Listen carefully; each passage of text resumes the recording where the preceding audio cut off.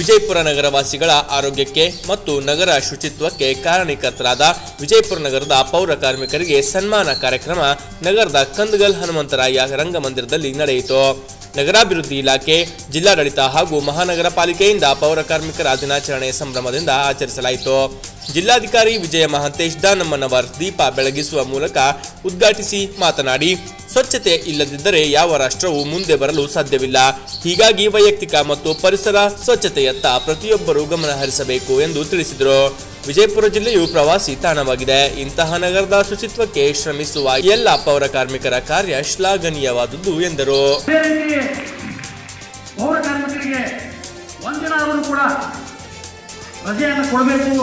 ಮಹಾನಗರ ಪಾಲಿಕೆಯಲ್ಲಿ ಪೌರ ಕಾರ್ಮಿಕ ದಿನಾಚರಣೆ ನಿಮಿತ್ತ ಸುಮಾರು ಎರಡು ದಿನಗಳಿಂದ ನಾವು ಅವರಿಗೆಲ್ಲ ಒಂದು ಸ್ಪರ್ಧಾಕೂಟನ ಏರ್ಪಡಿಸಿ ಅವರಿಗೆಲ್ಲ ಒಂದು ಮನರಂಜನೆಯಾಗಿ ಎಲ್ಲ ಸ್ಪೋರ್ಟ್ಸ್ ಇವೆಂಟ್ಸನ್ನು ಕಂಡಕ್ಟ್ ಮಾಡಿ ಇವತ್ತು ಅವರಿಗೆ ಸರ್ಕಾರದ ನಿರ್ದೇಶನದಂತೆ ಪೌರಕಾರ್ಮಿಕ ದಿನಾಚರಣೆ ಇವತ್ತು ಕೆಂಗಲ್ ಹನುಮಂತ ರಂಗಮಂದಲ್ಲಿ ಏರ್ಪಡಿಸಿ ಅವರೆಲ್ಲರಿಗೂ ಇವತ್ತು ಆರೋಗ್ಯದ ಬಗ್ಗೆ ಮತ್ತು ಅವರ ಕರ್ತವ್ಯದ ಬಗ್ಗೆ ಹಾಗೂ ಅವರು ಸುಸಜ್ಜಿತವಾಗಿ ಯಾವ ರೀತಿ ಸೇಫ್ಟಿ ಮೆಟಲ್ಸ್ನ ಯೂಸ್ ಮಾಡಿ ಕೆಲಸ ನಿರ್ವಹಿಸಬೇಕನ್ನೋದ್ರ ಬಗ್ಗೆ ಸನ್ಮಾನ್ಯ ಜಿಲ್ಲಾಧಿಕಾರಿಗಳು ಹಾಗೂ ಆರೋಗ್ಯ ಇಲಾಖೆಯಿಂದ ಮತ್ತು ನಮ್ಮ ಮಹಾನಗರ ಪಾಲಿಕೆಯಿಂದ ಅಧಿಕಾರಿಗಳು ಇವತ್ತು ಅವರಿಗೆಲ್ಲ ತಿಳುವಳಿಕೆ ನೀಡಿ ಇವತ್ತು ಪೌರ ಕಾರ್ಮಿಕ ದಿನಾಚರಣೆ ಹಮ್ಮಿಕೊಂಡಿದ್ವಿ ಅದೇ ರೀತಿಯಾಗಿ ನಗರದಲ್ಲಿ ಅವರಿಗೆ ಒಂದು ನಗರ ಸ್ವಚ್ಛತೆ ಇರ್ಬೋದು, ಪ್ಲಸ್ ಅವ್ರ ಆರೋಗ್ಯ ದೃಷ್ಟಿಯಿಂದ ಅವರಿಗೆಲ್ಲ ಒಂದು ತಿಳುವಳಿಕೆ ಹೇಳಿ ಇವತ್ತು ಪೌರ ಕಾರ್ಮಿಕ ದಿನಾಚರಣೆ ಹಮ್ಮಿಕೊಂಡಿದ್ವಿ ತಾವು ಸಹಿತ ಇವತ್ತು ಆಗಮಿಸಿ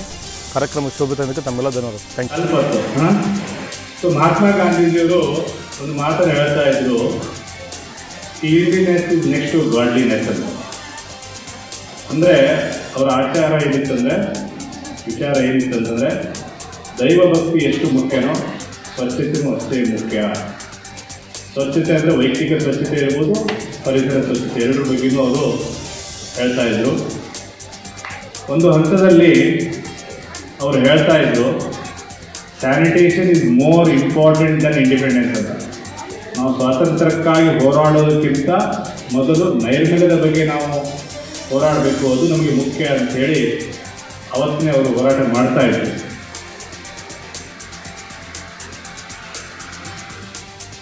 ನಮ್ಮ ಯಾಕೆಂತಂದರೆ ನಾವು ಒಂದು ಸದೃಢ ರಾಷ್ಟ್ರವನ್ನು ಕಟ್ಟಬೇಕು ಅಂತಂದರೆ ಆ ರಾಷ್ಟ್ರದಲ್ಲಿರುವಂಥ ಪ್ರತಿಯೊಬ್ಬ ವ್ಯಕ್ತಿ ಸದೃಢ ವ್ಯಕ್ತಿ ಇರಬೇಕು ಅಂದರೆ ಹೆಲ್ದಿ ಇರಬೇಕು, ಆರೋಗ್ಯಕರವಾಗಿರಬೇಕು both in mind and body ಅಂದರೆ ಹೆಲ್ತ್ ಬಾಡಿಯಲ್ಲಿ ಮತ್ತು ಮೈಂಡಲ್ಲಿ. ಅದು ಆಗಬೇಕು ಅಂತಂದರೆ ಒಳ್ಳೆಯ ಸ್ವಚ್ಛ ಪರಿಸರ, ಸ್ವಚ್ಛವಾದ ವಾತಾವರಣ ಇರಬೇಕು. ನಾವು ಹೇಳ್ತೇವೆ, ಸ್ವಚ್ಛ ಗ್ರಾಮ, ಸ್ವಸ್ಥ ಗ್ರಾಮ. ಅಂದರೆ ಯಾವ ಗ್ರಾಮ ಸ್ವಚ್ಛ ಇರ್ತದೆ ಅದು ಸ್ವಸ್ಥ ಹೆಲ್ದಿ ಇರ್ತದೆ ಆ ಗ್ರಾಮ. ಹಾಗೆ ಯಾವುದು ನಗರ ಸ್ವಚ್ಛ ಇರ್ತದೆ, ಸ್ವಚ್ಛ ನಗರ, ಅದು ಸ್ವಸ್ಥ ನಗರ ಆಗ್ತದೆ. ಯಾವುದು ನಗರ ಕ್ಲೀನ್ ಇರ್ತದೆ, ಅಲ್ಲಿ ಜನರು ಆರೋಗ್ಯವಾಗಿ ಇರ್ತಾರೆ ಅನ್ನುವಂಥದ್ದು.